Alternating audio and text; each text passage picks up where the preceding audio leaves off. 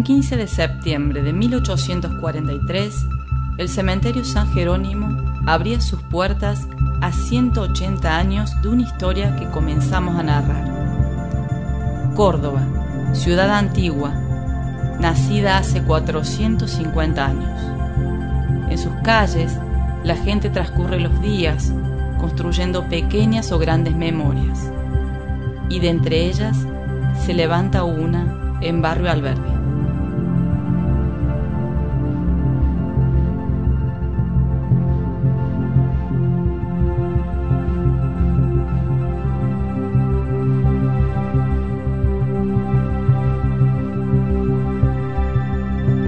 Nacho, y hoy los pasos nos traen hasta el corazón de Barrio Alberdi a una institución única e irrepetible. Podemos decir que venimos a festejar un cumpleaños, que venimos a disfrutar de una historia, que venimos fundamentalmente a hablar de 180 años de vida del cementerio. Una de las instituciones que cuenta con mayor cantidad de, de años en nuestra ciudad y que muchas veces a lo largo de su historia uno la mira con cierto recelo, con cierto temor, pero hoy vamos a tratar de demostrar y de contar, como dijiste vos, algo de la historia de la ciudad dentro de estos muros. Y hablando justamente de dentro de estos muros, podemos recorrer absolutamente todo lo que ha pasado en Córdoba durante muchos, muchos años. Bien, está hecha la invitación. Vamos, dale.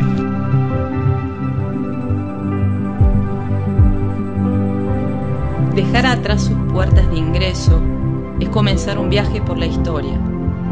Es entrar a una ciudad en la que descansan gran parte de las personas que han hecho que Córdoba sea lo que hoy es. Algunas con honores y otras quizás para dejarlas a la suerte del olvido.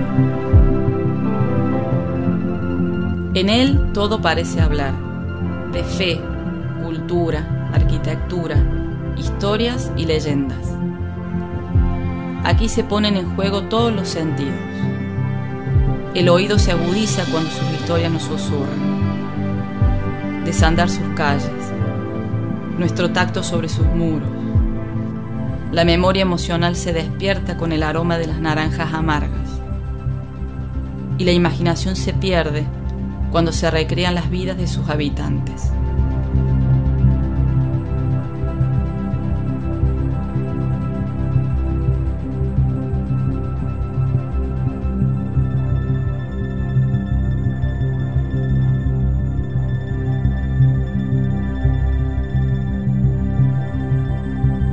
Acá, Fede, hay un dato que eh, no lo podemos dejar pasar. Lo nuestro está muy lejos de ser la matemática, eso sí. Para nada. Córdoba cumplió 450 años, el cementerio 180, es decir, hay más de 300 años que no se sabe o sí se sabe qué se hacía con los muertos en la ciudad. Y en realidad sí se sabe. La respuesta es que no existía ningún cementerio, no había un lugar en donde depositar a los muertos. Y esa respuesta la encontramos en que durante todo ese tiempo eran sepultados en dos lugares, en un camposanto o en un enterratorio. El camposanto eran lonjas de terrenos acostado de las iglesias tradicionales del centro de la ciudad, Compañía de Jesús, la catedral misma, este, eh, Iglesia de San Francisco, Iglesia del Pilar. El resto de las personas, los hijos de vecinos, eran sepultados fuera de las 70 manzanas fundacionales.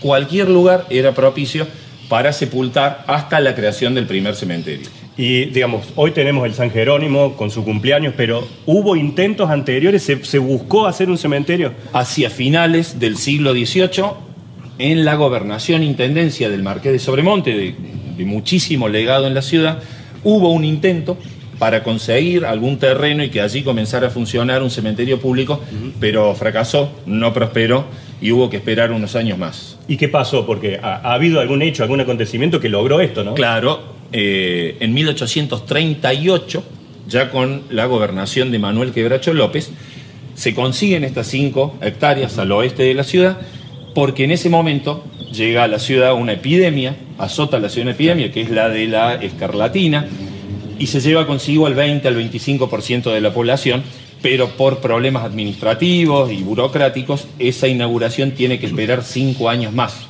hasta el año 43, cuando en enero de 1843 otra epidemia, en este caso la de la viruela, ya mucho más violenta y de mucho más presencia en la ciudad, acelera el proceso para que finalmente se inaugure el cementerio San Jerónimo.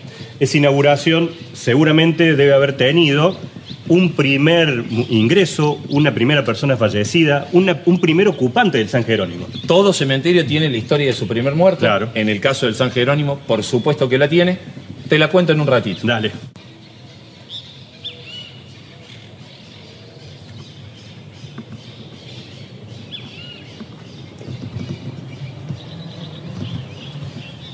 La verdad, Fede, que uno queda impactado recorriendo el cementerio, pero me debías una, que es contarnos quién fue el primer ocupante, la primera persona que se enterró aquí en el San Jerónimo. Es una historia bastante particular que tiene todo tipo de ribetes. Primero que tenemos que hacer es contextualizar. Política, históricamente no existía la República Argentina. Claro. Buenos Aires, por un lado, con Juan Manuel de Rosas como gobernador, el resto de la Confederación Argentina con Justo José de Urquiza, enemigos, entre ellos dos enemigos, el resto de las provincias, algunos gobernadores y caudillos racistas y otros antirrosistas. En Córdoba, Quebracho López. En Córdoba, Quebracho López, muy rosista. Muy rosista. Amigo de Juan Manuel de Rosas. Llegado el momento de la creación del cementerio San Jerónimo, se rodea de su grupo de gestión, su grupo de trabajo, y entre esas personas había un señor llamado Fermín Manrique, Bien, antirrosista. perfecto. Odiaba-. Fermín Manrique, destacado. Odia- sí, odiaba a Rosas. Y decide Manrique escribirle una carta a Rosas en la cual le explicaba que Quebracho López, gobernador de Córdoba, era una persona bastante endeble, que lo podía traicionar, que tuviera cuidado.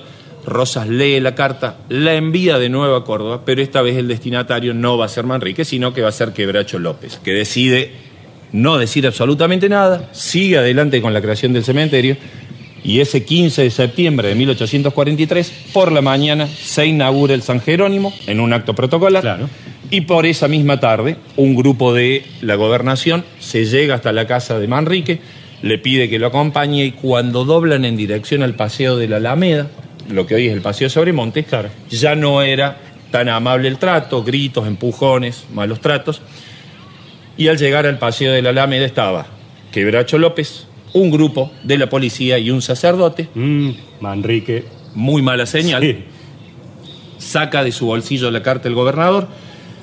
En ese momento Manrique acepta la culpa, es trasladado hasta la puerta del cementerio, el sacerdote hace su trabajo, le da la extrema unción y es fusilado por traición e ingresado Claro.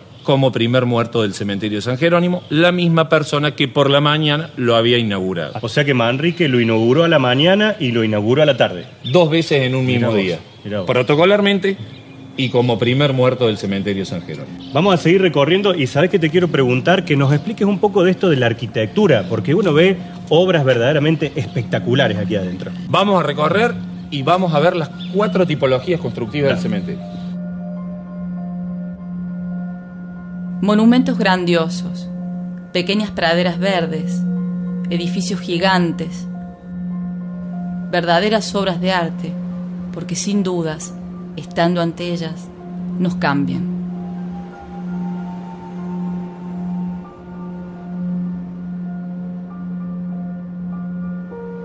Bueno, habíamos quedado en hablar de lo que tiene que ver con la tipología de la arquitectura aquí adentro, ¿no? Claro, en todo cementerio existen cuatro tipologías constructivas. Vamos a comenzar por esta, que son los nichos. Bien. Los nichos son simples, sencillos, austeros, para una sola persona. Claro.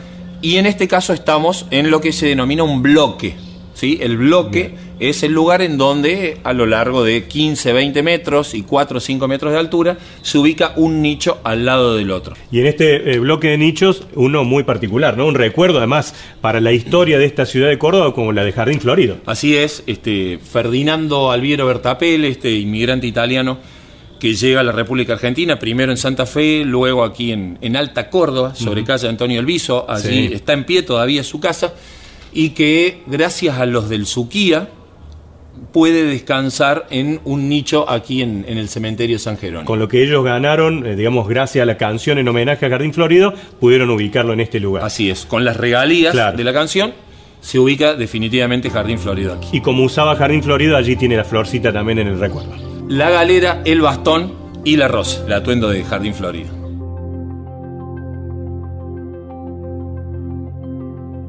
El cementerio San Jerónimo, el primero de la ciudad de Córdoba, como quiera que entendamos la muerte, nos recuerda a alguien querido o que inevitablemente nuestro caminar tiene un final. Pero, ¿qué hace que las personas sean recordadas? Bueno, yo soy eh, Víctor Hugo Brizuela, eh, más conocido como el Bichi Brizuela, más conocido como el, hijo de, del negro Brizuela, de la, de la Yaya de Víctor Espor y ahora el padre de Lola Florencia y de Víctor Emanuel en Radio Sucesos. Sí, sí. Vos sabés que yo una vez te, lo vi, vi jugar a vos con Valencia y con Isquia en Wembley. La dejaron así chiquita, ¿te acordás? como, yo me, acordaba recién del compadre y no metió el centro atrás. ¿Se acuerda, Brizuela? Eh, un anarquista cordobés. Un tipo que se proyectó de, del Nacional H y pudo llegar a, jugar en primera. De, de Bellavista al, Vaticano. Pero siempre defendiendo las cosas de Córdoba, las raíces, lo, interior. Como decía él, sin haber tenido grandes escuelas de periodismo, tuvo grandes maestros y también dicen muchos de los que trabajaron con él que, que fue un gran docente sin quererle del periodismo o de cosas de la vida. Un buen tipo. en, varias notas en, las que lo llevaba por el lado de, la política, la economía, las finanzas. Eh, recuerde que lo mío es el periodismo deportivo. Es como que le quedaba más cómodo ahí y sabía que ese era su fuerte. Y dentro de lo deportivo, el fútbol. Alguna gente se va a sorprender, pero es muy de, de mi generación criados de, madre, de abuelas y de tías, porque eh, el, papá buscaba ser alguien, hacer su camino. Entonces, para mí mi papá era un señor que trabajaba en la radio, que transmitía partidos de fútbol, que viajaba mucho, eh, y yo era súper matriarcal mi, educación. Eh, te diría que al entrar a, a la facultad, a la universidad, pude empezar a compartir más cosas con mi viejo. Eh, luego por cuestiones de salud, de él, de estudios mías, yo soy médico, eh, tuvimos un mayor acercamiento y luego fuimos socios también en el laburo y él fue mi paciente, mi amigo, mi consejero. Sí, me llevó todo el secundario. Mira vos, salía muy temprano, eh, y me llevaba a mí al colegio y luego la llevaba a mi mamá a Obras Sanitarias de la Nación y luego él a alguna radio o, diario o persiguiendo el sueño de, querer ser el, periodista deportivo de, de, Córdoba y de Argentina que finalmente fue. Nos acaba de dar la gloria de participar muy de frente, como protagonistas reales y testigos privilegiados de este hecho casi mágico. negrito, esto no es para siempre, fíjate por acá, hagamos esto, hagamos el otro. La, un tipo de, diálogos muy, muy profundos eh, cuando se supo enfermo, por ejemplo, de encargarse de cada viaje hacia a Carlos Paz o, o hacia la radio de ir metiendo fichas de... Así como cuando decía se ve venir el gol, también en la vida el tipo lo que me... El 99% de las cosas que me dijo sucedieron. Eh, en momentos en que inclusive no, no, lo veíamos. No lo veíamos y sí, muy profunda. ¿Y qué vamos a hacer con la salud de tu madre? ¿Y qué vamos a hacer con los negocios? qué perspectiva de crianza le vamos a dar a tus hijos. Eh, mi mujer es, es hija de, toda una familia de desaparecidos, así que la, la adoptamos. Y también para mi viejo era la Ale, va, a terminar el, el secundario, ¿no? Y va a ser una carrera y, y administración y aquí y allá. Era un tipo muy, muy presente, muy pensante, eh, muy certero, muy afectivo muy afectuoso.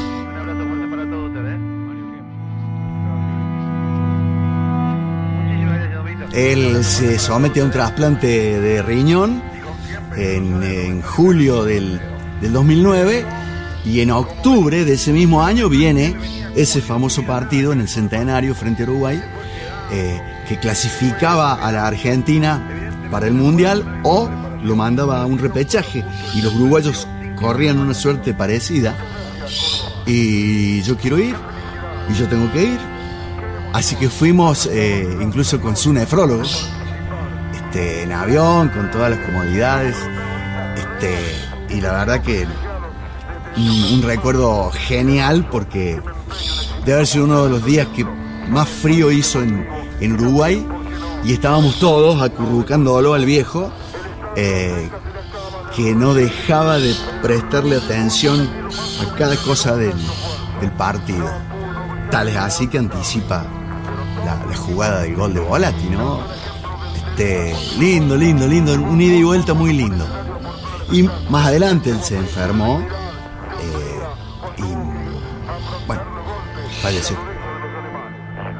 Eh, además yo sabía desde, te diría unos tres o cuatro días antes de que el final era, era irreversible, era, era la muerte. Casi como que nos empeñábamos con los médicos de la terapia en, en sostener el caballo, aunque fuera penúltimo en- y no, no tuviera chance, ¿no? Ah, Que eh,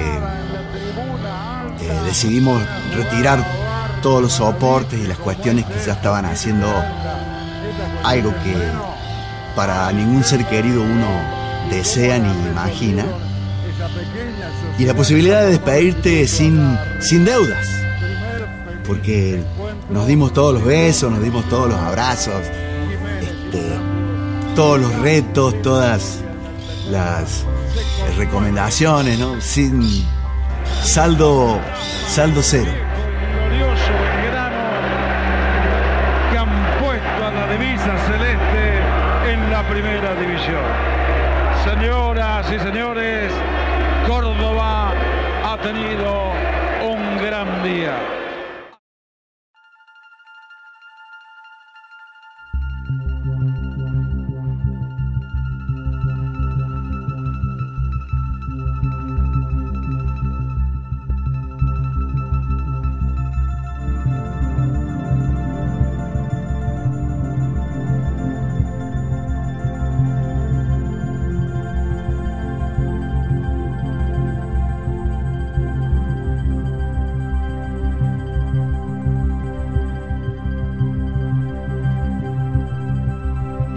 Seguimos recorriendo las tipologías del cementerio San Jerónimo y llega el turno de hablar de los panteones. Bien, monumental. El que tenemos de aquí atrás es extraordinario. En este caso, monumental, los panteones más o menos todos tienen la misma superficie, puede haber alguna diferencia, pero en general tienen la misma superficie, son familiares, ¿sí?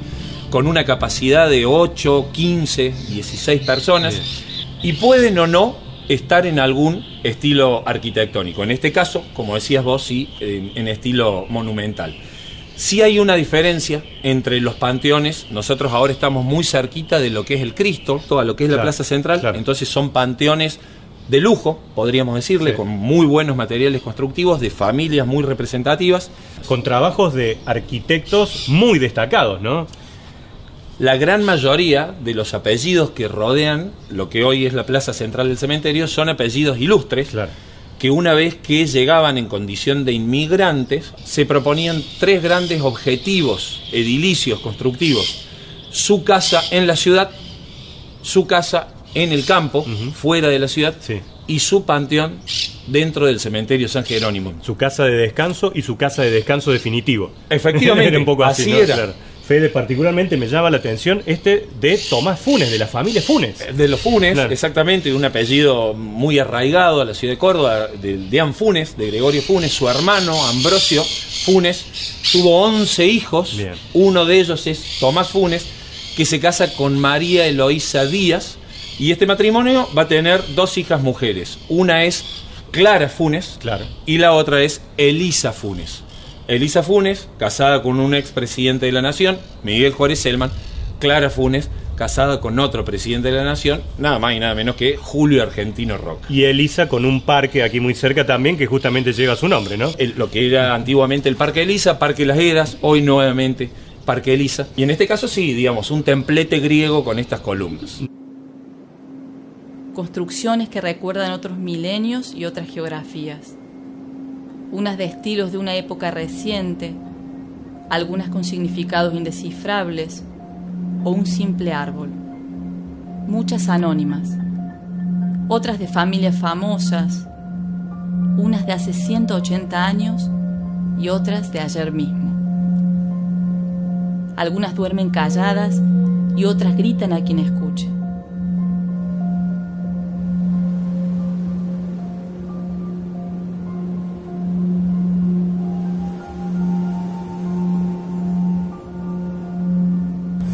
Familia Orgaz hace raíz acá en la ciudad de Córdoba a finales del siglo XIX y es una familia muy grande, muy amplia, de varios hermanos y que siempre tuvieron, en base a una formación y a una, educación muy rígida, el interés por la, la vida en- de, la, de la ciudad de Córdoba, la vida política, institucional, social y cultural, y por eso tuvieron una gran actuación en los distintos campos, fundamentalmente en el derecho, pero también en el ámbito de la medicina. Fueron apasionados por el deporte, prácticamente todos mis tíos abuelos tuvieron algún protagonismo en clubes de fútbol, en el universitario, en Belgrano y también en General Paz Juniors. O sea que han, han tenido una, una vocación de la, digamos, de la cultura clásica, de esta idea de que en mente sana, en cuerpo sano. Ellos eran nueve hermanos. Puedo hablar de Arturo, que fue muy reconocido como, como profesor, como, eh, como jurista. Eh, yo creo que uno de los eh, más importantes diccionarios jurídicos que se siguen consultando actualmente es el de Arturo. Bueno, mi abuelo Jorge, que fue rector eh, dos veces consecutivas, intervino en la reforma universitaria que hizo Funito a nivel latinoamericano, eh, fundó junto con otros eh, con otros médicos el hospital privado cuando fue proscripto por el peronismo y, y después los otros también abogados, Alfredo, soltero, que vivía justamente al lado de nuestra casa, que era, fue presidente de la Corte Suprema.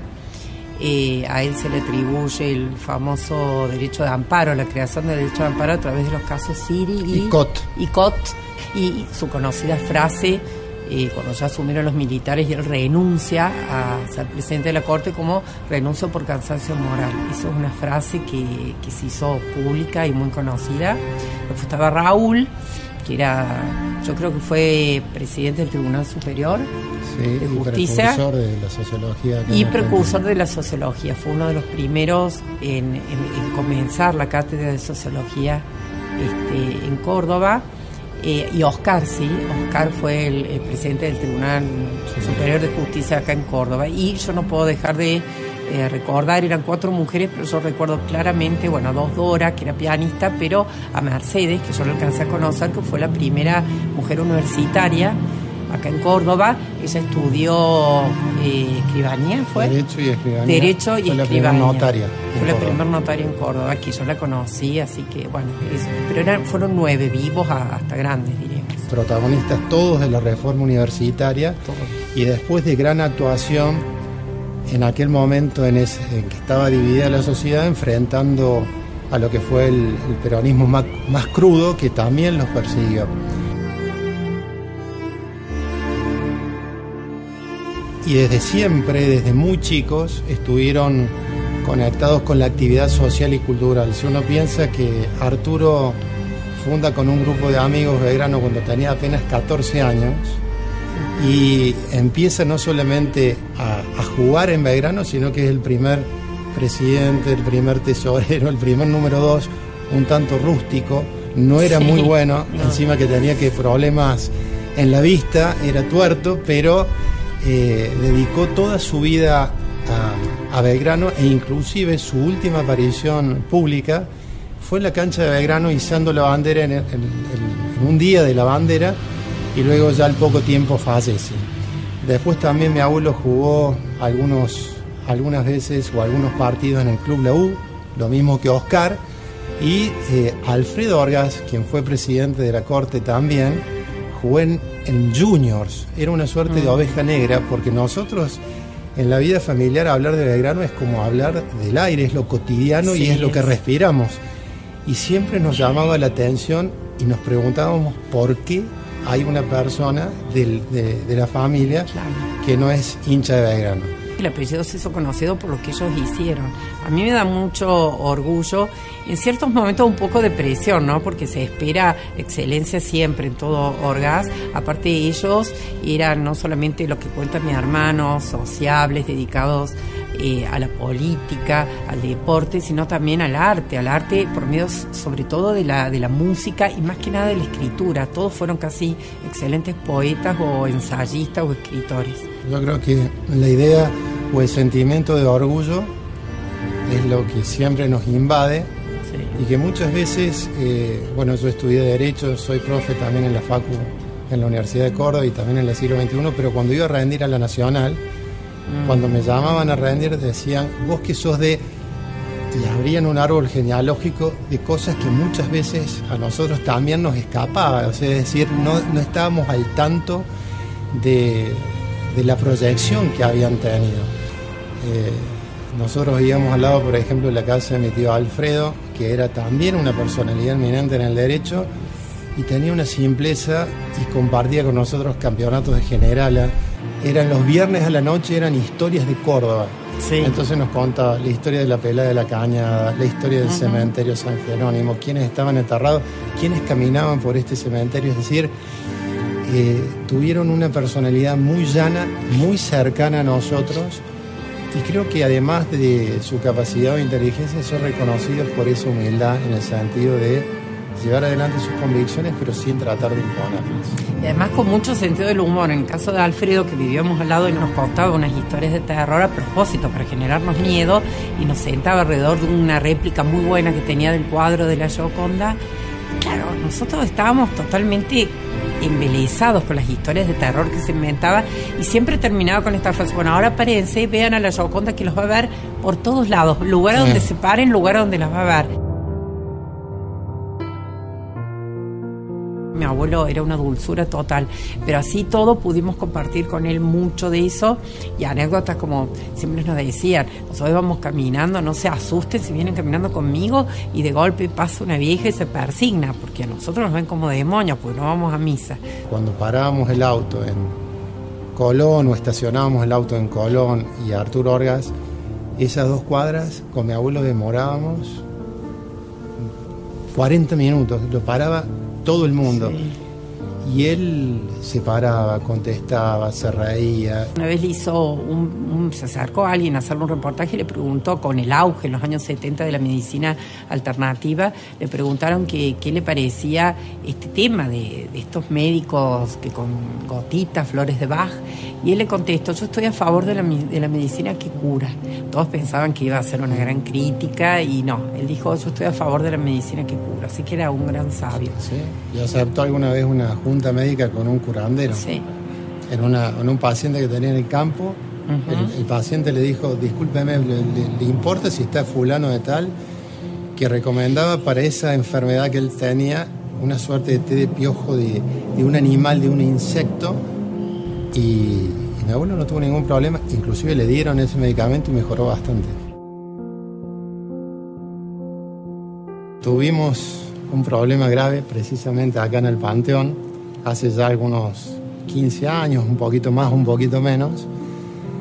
Un día, una noche apareció el Panteón pintado con bastones blancos y azules. Qué feo.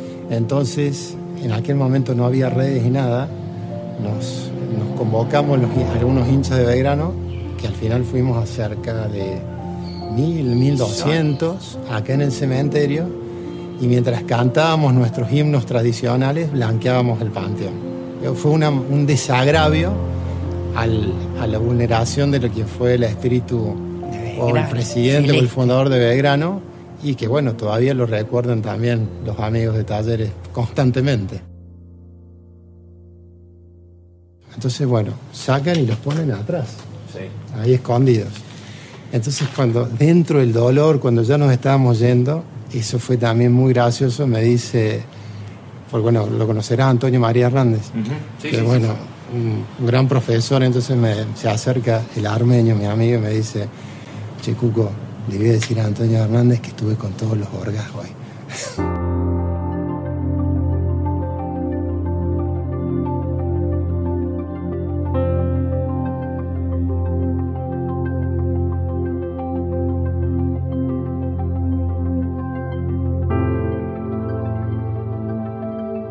Acá, Fede, hay otra casi cuestión matemática que resolver, porque aquellos que no eran católicos, ¿qué pasaba en ese momento?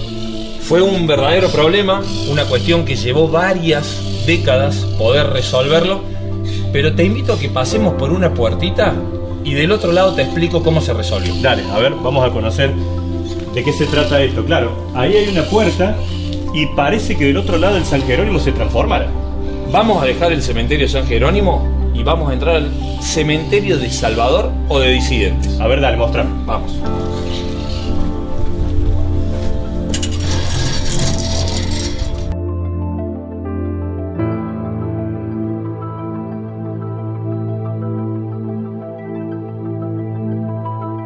Bueno, ya estamos en el cementerio del Salvador y veo algo absolutamente distinto al San Jerónimo. Sí, ya dejamos todas las tipologías constructivas del San Jerónimo y aquí solamente hay sepulturas. Claro.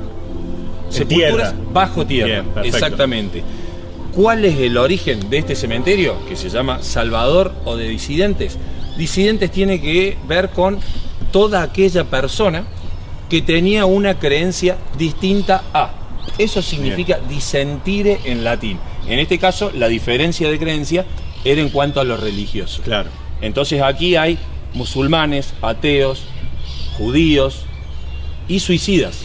Ah, los suicidas no iban al San Jerónimo. No iban al Ah. San Jerónimo y este cementerio se inaugura con un caso que se conoce con el nombre del escándalo Alderete. Un librero, un comerciante de origen español, de tan solo 28 años, que un día tenía su local allí sobre calle 27 de abril, se siente mal, se llama a los médicos, no había mucho para hacer, se llama al sacerdote y con el poco aliento que le quedaba, don Alderete dice, yo no voy a recibir la extrema unción. No quiso, no se No quería quiso. saber nada, con la fe católica ya. Con la fe católica, absolutamente alejado, muere, se entera el obispo de la ciudad y decide no sepultarlo en el cementerio San Jerónimo y estuvo tres días insepulto en el ingreso. Entonces, en la ciudad de Buenos Aires ya existía un cementerio para no católicos, en Rosario también, y faltaba aquí en Córdoba. Y sobre la medianera sur del cementerio San Jerónimo se dispone que con las mismas varas de profundidad, pero con distintas varas de frente, comienza a funcionar un cementerio para aquellas personas que no eran católicas. ¿Quiénes descansan aquí? Personalidades que tienen que ver con la educación, con la ciencia, con los ferrocarriles, Claro, al, muchos gremio, ingleses, claro. al gremio de la fraternidad, y hay muchísima simbología masónica. claro. Y también mucha relación con nuestro observatorio astronómico.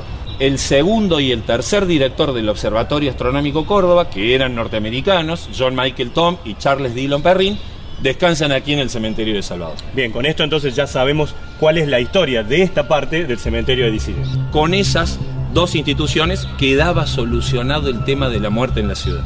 ¿Seguimos recorriendo? Vamos. Dale.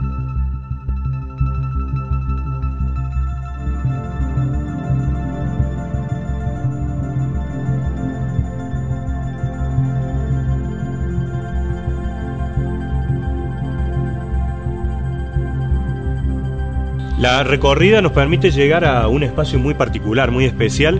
Esto parece, Fede, un edificio adentro del cementerio. Verdaderamente es eso. Las cofradías son edificios dentro de la superficie del cementerio San Jerónimo. Tienen una superficie mucho más extensa que el resto de las tipologías constructivas. En muchos casos son monumentales y pertenecen a órdenes religiosas, sacerdotes y monjas, o a instituciones, en este caso la Asociación Española de Socorros Mutuos, y son construcciones que pueden tener hasta 4, 5, 6 pisos de altura. ¿Y cuántas personas descansan en el interior? Son muy grandes, son muy grandes. En el caso de la Asociación Española, tranquilamente pueden descansar entre 7, 8, 9 mil personas en una cofradía. ¿Y en el cementerio en sí? En todo el cementerio, aproximadamente entre 110 mil y 115 mil personas. Bien, seguimos hablando de la arquitectura del lugar. Seguimos hablando.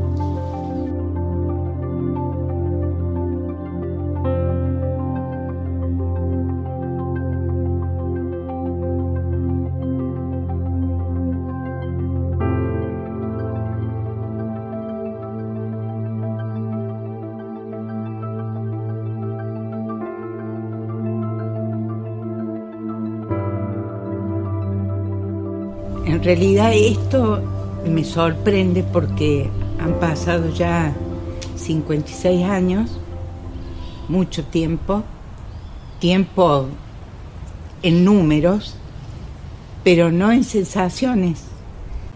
Eh, es como si lo tuviéramos en cada paso que damos, en cada cosa que decimos.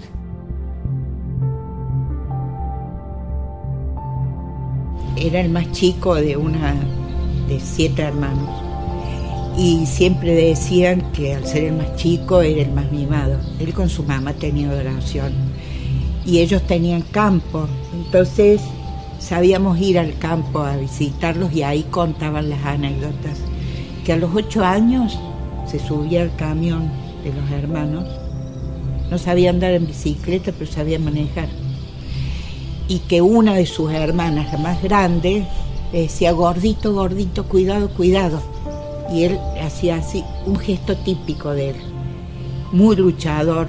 Cuando se casó con mi mamá, eh, vivían en Ballesteros. Y para que él pudiera seguir corriendo, primero corrió en moto.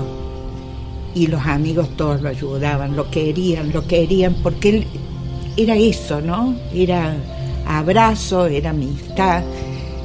Y, y cuando, para que él pudiera correr, no tenían mucho dinero, prácticamente nada. Mi mamá daba clase, era profesora de historia, y daba clase en una escuela rural. Le decía, Oscar, quédate tranquilo. Yo hago esto, vos dedícate a lo tuyo. Y así fue, siempre. Ella lo acompañó siempre.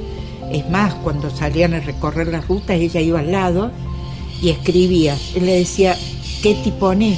Ahí hay un árbol, acá hay esto. O sea, ella dibujaba, anotaba y demás. Y esa era su hoja, su hoja de ruta para el día siguiente.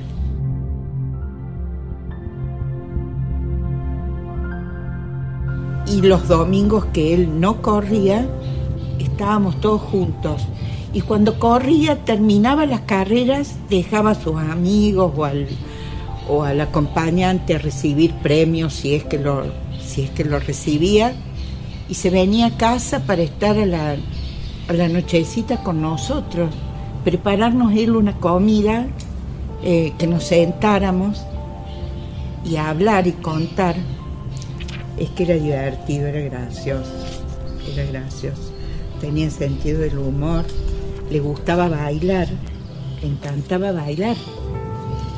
Y con mi mamá eh, bailaban, bailaban muy bien el tango.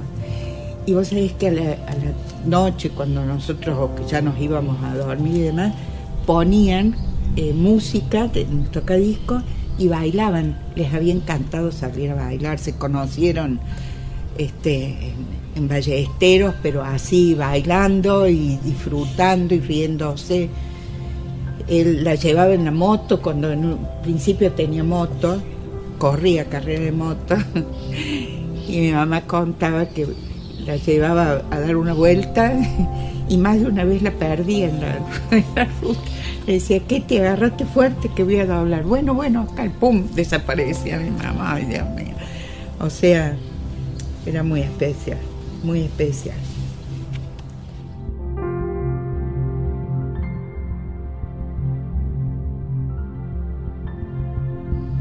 y nosotros éramos todos muy chicos cuando, cuando él falleció.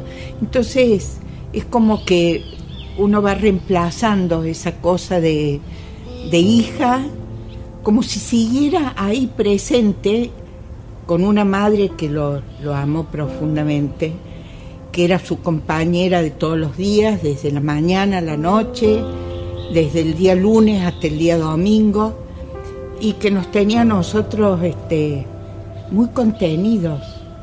La palabra esperanza para él era una de las más importantes. Él tenía esperanza de vida, esperanza de, de alegría, esperanza de felicidad, de familia. Era muy joven, tenía 43 años cuando falleció. Una de sus frases preferidas era persevera y triunfarás.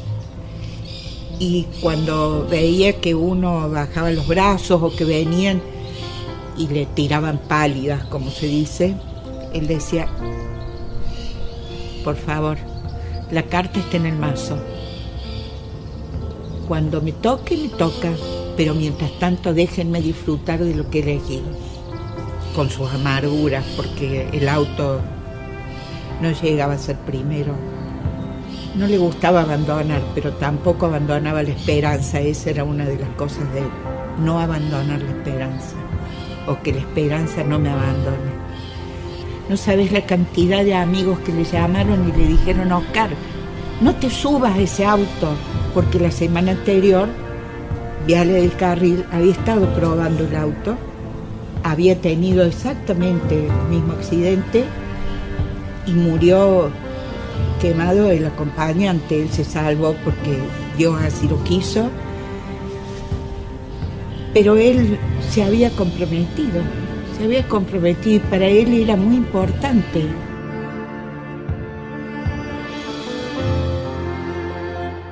El día que él tuvo, tuvo el accidente un día viernes a las 10 de la mañana, probando un auto.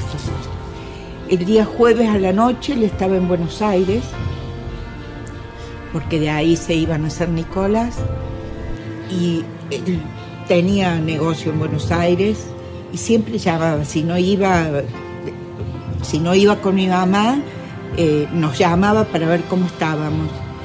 Y en ese momento eh, nosotros éramos cinco hermanos, somos cinco hermanos, y la más chica tenía 12, 13 días.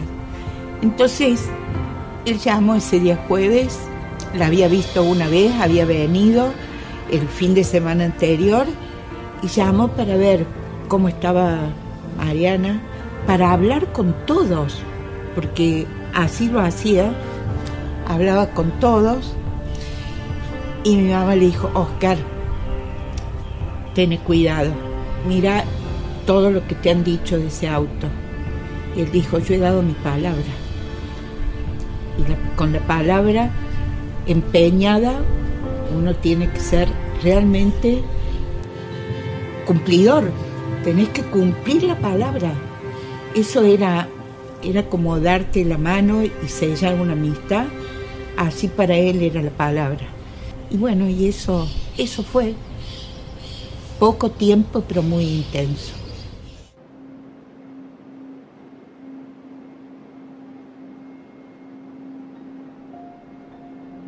y cerramos el, el, recorrido por las tipologías constructivas con la que nos faltaba, que sí. es el mausoleo. Mausoleo, bien. ¿Sí?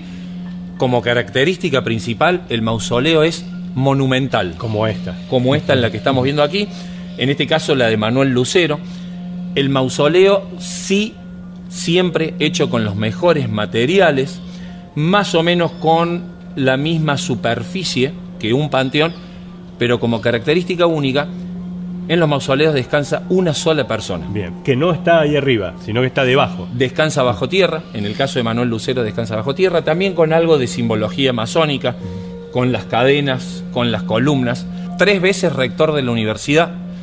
La muerte lo sorprende en su tercer mandato en 1878, creador de la Facultad de, de Medicina, de Filosofía, de Humanidades, y su principal herramienta, su principal arma era el uso de la palabra. Bien, hábil declarante, don Lucero. 100%, enfrentarse con Lucero en, en- en una nota periodística, en un estrado, en una discusión cualquiera, era prácticamente una derrota segura. Y la particularidad de este que me decías es réplica de... Este mausoleo tiene uno exactamente igual en Francia, el de Napoleón Bonaparte. Mira vos, ahí ha tenido como de dónde tomarse, ¿no? Para ver cómo lo hacían. Exactamente. A partir del mausoleo de Napoleón se copia y se hace este exactamente igual. Fíjate que hemos recorrido las tipologías, la arquitectura de este cementerio y aprovechamos para recordar la historia de Córdoba, porque la historia está aquí adentro. En estas cinco hectáreas encontramos gran parte de la historia de la ciudad de Córdoba.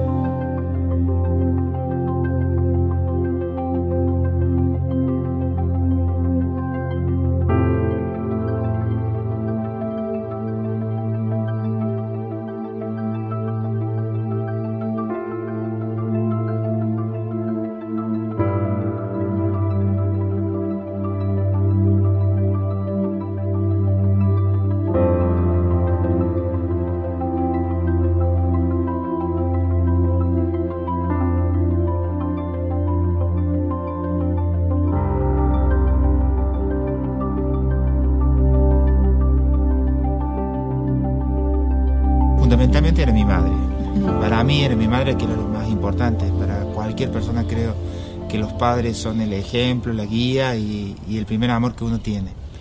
De la, de la puerta para afuera era una militante representativa de toda una generación de la política nueva en aquel momento, de toda una generación que había cambiado, había irrumpido eh, una tormenta nueva que era en ese momento el peronismo, con ideas revolucionarias de la dignificación del trabajo, de, basar todas sus ideologías en, eh, en la doctrina social de la iglesia, en buscar en la juventud, en abrevar eh, en la juventud, en, la- en las universidades, en sacar a la mujer de ese lugar oscuro que estaba, porque o sea, parece hoy una cuestión natural, pero la mujer no tenía un documento de identidad, no podía votar, no tenía derecho ni siquiera a la propiedad en muchos casos.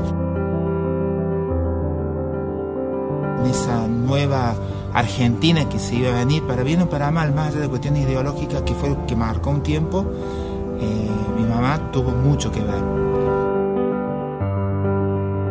Fue la circunstancia de la vida, una fiesta que no quería ir y que terminó yendo, que se terminó conociendo una persona que, estaba, que era un militar, que, que la lo llevó a conocer a, a Perón, en realidad era a conocerlo a Perón, y terminó conociendo a Evita, y Evita terminó en una relación de cariño y de amor mutuo, creo yo, por lo menos mi madre absolutamente seguro, porque hasta el último momento de su vida siempre tuvo la idolatría por, por la señora, como le decía, que parecía raro, por de donde venía mi vieja, de- de- del 25 de mayo, del club social, del jockey, que a esta actriz descalificable muchas veces, ella le llamaba siempre señora, siempre tuvo hasta el último día de su vida un respeto reverencial hacia, hacia la señora, hacia Eva.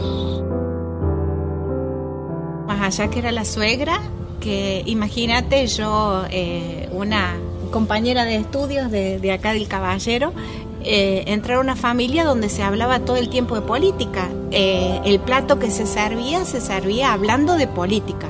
Ya estábamos en la democracia cuando yo lo conocí a Javier, pero siempre se hablaba de política. Es más, cuando yo lo presento a Javier en, mi familia, eh, y sí, lo que pasa que la mamá, la mamá es diputada nacional y como toda una novedad en mi casa en el año 83. En ese con- constante hacerme aprender el valor que tenía yo como mujer. El nena termina la carrera, nena, por favor, valete por vos misma. Lili, quiero trabajar, perfecto que quieras trabajar, perfecto que quieras tener tu plata. Y eh, sentarse con ella cinco minutos a tomar un té o a disfrutar lo que sea. Era escuchar las anécdotas de cómo cono- conoció la señora, de eh, cuando ella eh, la llamaban por teléfono a las 3 de la mañana y le decían, mañana hay que estar en Buenos Aires, Lili, con cinco colectivos o 10 colectivos, y las emboscadas que les hacían para bajarle los colectivos y todo lo que ella hacía o verla a ella recorriendo las calles de la ciudad de Córdoba con la fisonomía de esa época y ella llevando las banderas y acompañada de todas las mujeres y con una vestimenta que vos decías estaban de gala, de fiesta, pero ella acompañando a las mujeres.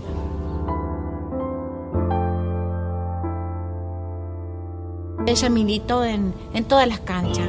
Eh, militó eh, tramitando operaciones, remedios, dentadura para gente anciana. O sea, toda la vida de ella fue, y su casa fue una gran unidad básica, porque siempre estuvo llena de gente.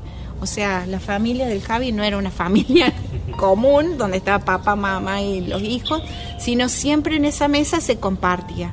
Y se compartía con un gobernador, porque vos entrabas y estaba de la sota con Olga en ese momento, o estaba, qué sé yo, una vez eh, llegábamos de la universidad, estaba Angelos, que era gobernador. A ver, si vos me decís mi vieja en el fondo que era, yo creo que era una dirigente social. O sea, ella, ella le, le dolía mucho. Bueno, por eso yo decía, eso nos transmitió todo, pero por ejemplo con mí me pasa lo mismo. O sea, recién estábamos hablando de una persona que para mañana para la vesícula, que, que el otro que hoy tenía un problema porque es diabetes, se le produce una llaga. Entonces, por el director del hospital de urgencia ya... Loarte. Lo atamos. Mi vieja era si- siempre le inculcaba de que tener más no era tener más, era una obligación de ayudar al que no lo tenía.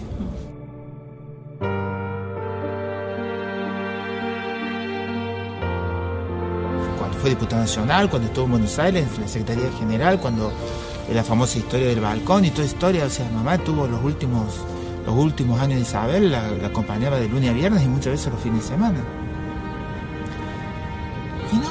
Yo, mi vieja venía y abría la puerta y vos te habías olvidado si, si no había estado durante la semana. si- Yo la verdad que en la niñez la pasé fantástica, yo la, la amé mucho mi vieja.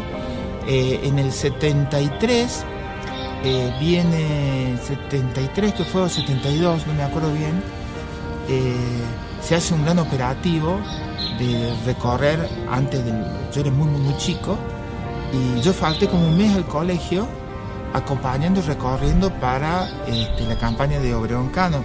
Y si bien mi vieja no estaba muy cercano ahí, era la campaña de- del retorno de Perón. Y un mes recorrimos toda la provincia, un mes.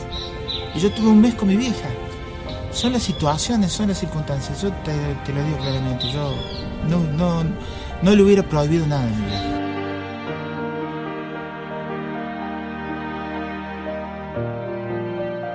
Era un mensaje esperanzador. Mi vieja Sí, creía positiva total. Total, o sea, mi vieja siempre creía que Argentina iba a ser espectacular, que, que no, no sacáramos doble nacionalidad porque no tenía sentido, que acá había que apostar a este país, que este país era maravilloso, que la gente era fantástica, de que me acuerdo, se enojan contra la Argentina y este país de tal por cual, mi vieja siempre decía que lo mejor que tenía la Argentina era la gente siempre fue un mensaje positivo. O sea, siempre eh, hay que ayudar, hay que ayudar, hay que ayudar, hay que ayudar, hay que ser solidario, hay que ayudar, hay que, hay que tender puentes. Hasta en la guerra se dialoga. Siempre hay que dialogar. Hasta en la guerra se dialoga. ¿Cómo no vamos a dialogar con un enemigo político? ¿Cómo no vamos a negar con un vecino que te enojaste? Con un familiar. Hasta en la guerra se dialoga. Ese era el discurso. Siempre había que hablar, todo se podía arreglar, todo tenía solución. Y como decía, y hasta la muerte. Dice, porque yo creo en Dios, así que a mí Dios me va a tratar bien, me va a Ella se recibir. preparó su propio velorio, la sala donde iba Sí. a estar, el cajón para que los chicos no tuvieran problema de ir a elegir nada. Dejó todo pagado. Ella dejó todo. pagado. No, no, no, una que- cosa distinta. Hay que escuchar a la, a la que era la secretaria de mi vieja yendo al, al- a la sala, eligiendo el cajón de ella. A mi vieja, Eva, le manda de rezago de la guerra Un Jeep un Willy. Jeep Willis. Entonces mi vieja empieza a manejar Jeep Willis sin saber manejar, no manejando. No, eh, un Le manda una... una... No, tremendo. No, no. La Lili era No, mi hija nunca tuvo miedo. Por eso te digo, eso yo lo veo bastante pero Mi hija nunca tuvo No, miedo. es que ella me infundió. No tengas Nunca. miedo, nena. Nunca tuvo miedo. Es más, cuando le dicen, ella, ella fallece de ella, cuando ella le dicen el diagnóstico y todo lo que va o sea, ella no, no- a nosotros nos transmitía tranquilidad. Y ella lo único que decía, yo lo único que quiero es morirme en la cama. En mi casa y en, En la mi cama. cama. Tranquila, sí, total, yo he sido buena, así que yo voy a ir al cielo, me voy a juntar con... O sea, una cosa muy particular.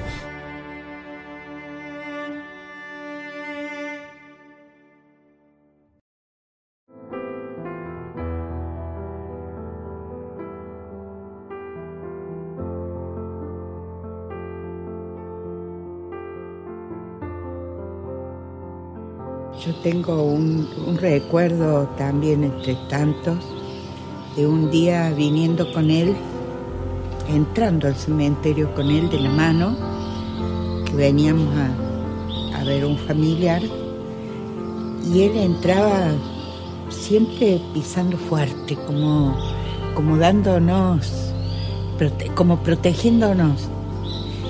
O sea, todavía yo siento eso, que está siempre al lado nuestro, protegiéndonos. Parecerá una cosa, una ridiculez, pero cuando hay algo que no, que a uno lo confunde, es como si él y mi mamá eh, nos, me pusieran la mano o me, no sé, y me dijeran, así tiene que ser.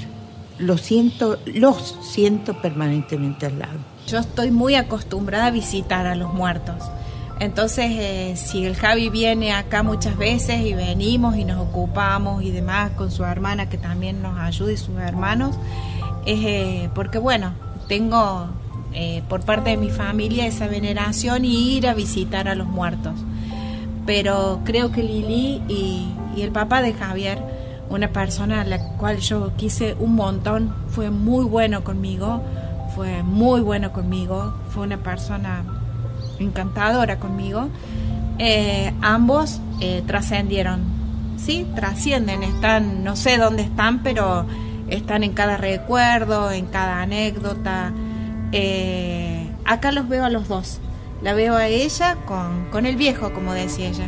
Quiero que nos entierren juntos, al viejo, uno de un lado, el otro del otro. Pero sí, sí vengo, sí vengo. Me gusta. Porque con él veníamos a ver a, su padre, a su abuela, a, los muchachos de deportes que, se criaron con él. No era él de traer flores, ni de ponerse a rezar. Pero le metía un, producto a la, a la placa, a las cositas esas que, que brillan, al nombre, como para que siempre se leyera y se entendiera quién está ahí. Bueno, yo creo que no, no, no tendrían problemas. Creo que por lo menos yo lo conocí a Alfredo, lo conocí a mi abuelo. eh, siempre tuvieron un espíritu agnóstico, no tanto un ateísmo, pero sí un espíritu agnóstico de duda permanente, de absoluto eh, respeto por los otros credos, por las otras religiones, y creo que murieron con esa incertidumbre, es decir, no negaban la existencia de Dios, pero tampoco la afirmaban. Y creo que no hubiesen tenido ningún inconveniente porque ellos estaban centrados con un gran espíritu humanista en la vida terrena y en dejar algo para la, para la comunidad para la sociedad en la cual vivían. Eh, más allá que la costumbre, la familia no visita el cementerio, nadie viene, ni, ni nada, ¿no? Este, no es una costumbre, o sea, No. y yo recuerdo que mis padres, sobre todo mi papá, me decían, nosotros no estamos ahí, estamos en otro lado, en, en otra dimensión o en, el, o en el recuerdo de ustedes, pero no vayan al cementerio. Eso es algo que nos recalcaban, bueno, a nosotros mucho, y yo no, de hecho, nunca he venido. Yo tengo la certeza de que Víctor eh, nos escucha. Creo que las ondas de la radio llegan a lugares insospechados y hay una, hay una nube eh, hecha cabina donde, donde está él y, sus amigos de la radio y, y también anda mi vieja. Yo la veo eh, sin ninguna cuestión de Edipo, pero la veo en mi mujer, en todas las actividades que hace, en su impronta en Belgrano, en la política, en el gremio, en esto, en mi hijo, cómo plantea, cuando ayuda a un compañero, cuando eh, le compro ropa y la, y la camisa que yo le compro con el amor le estrena el amigo, pero el amigo no tiene camisa.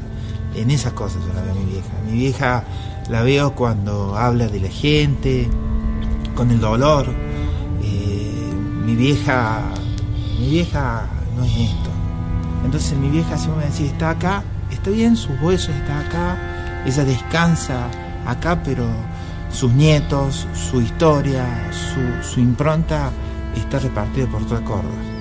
¿Tenían alguna duda o misterio en relación a la- al momento, de la, a la transición? El momento. Sí, eso. Después no, porque yo me acuerdo haber tenido alguna conversación con mi abuelo en su última etapa.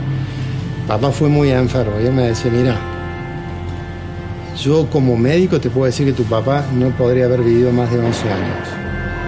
Y vivió. Después vivió tu hijo, familia, eh, todo lo demás, o sea que ahora ya tengo alguna duda si no existe Dios. O sea que la vida misma le iba dando, como gran científico, información. O sea que me parece que la duda la tuvieron al momento de morir. Una mezcla de nostalgia, este, extrañar, sí. Sí, sí, me gustaría que nos viera cómo, cómo estamos, lo que hacemos, este, cómo, cómo finalmente crecieron mis hijos, que son, que son buena gente, que recibieron el, bichito de la radio de parte de él. Eh, sí, sí, sí. No veo la hora que pongan teléfono en el cielo para charlar con ellos aunque sea una vez más. No sé, el ídolo es como una cosa así media abstracta. Él no, él fue todo corazón. Fue el amigo. Le gustaba que la gente estuviera contenta y se esforzaba por eso. Y así sigue, al lado nuestro, dándonos fuerza para seguir adelante, para que no bajemos los brazos. Esa es la idea. Así que gracias. Gracias porque realmente, no sé, hablar de mi papá es, es muy, es mi papá. Y yo supongo que hablar de a los hijos, a cualquier hijo, que le pregunten por su padre, va a hablar de su papá como yo he hablado del mío. O sea, no he hablado del el ídolo, entre comillas, o del corredor, o del deportista. He hablado de mi papá. Así que gracias a ustedes. ¿Qué hace que las personas sean recordadas? Si tuvieron dinero o fueron pobres, si obraron por el bien de la comunidad, si fueron consecuentes con sus ideas, si amaron, si construyeron grandes monumentos u obras de artes maravillosas. ¿Quién tiene respuesta a estas preguntas? Quizá lo que les hace ser recordadas es que vivieron intensamente, que valoraron cada día al que despertaron. Y eso nos recuerda de apreciar los nuestros. Y así, tal vez, ganar el derecho de vivir en la memoria. Bueno, la verdad que apasionante, extraordinario el recorrido, la historia de nuestra ciudad de Córdoba en estas cinco hectáreas.